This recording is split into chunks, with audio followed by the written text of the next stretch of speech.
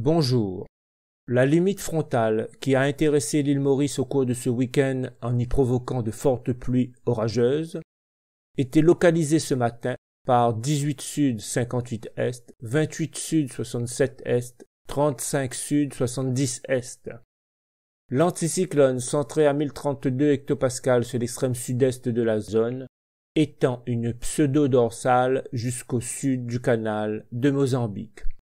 Basse pression au nord du 15e parallèle avec activité convective faible à localement modérée au nord de 7 degrés sud. Ce bulletin est maintenant terminé. Bonne journée et bonne semaine à toutes et à tous.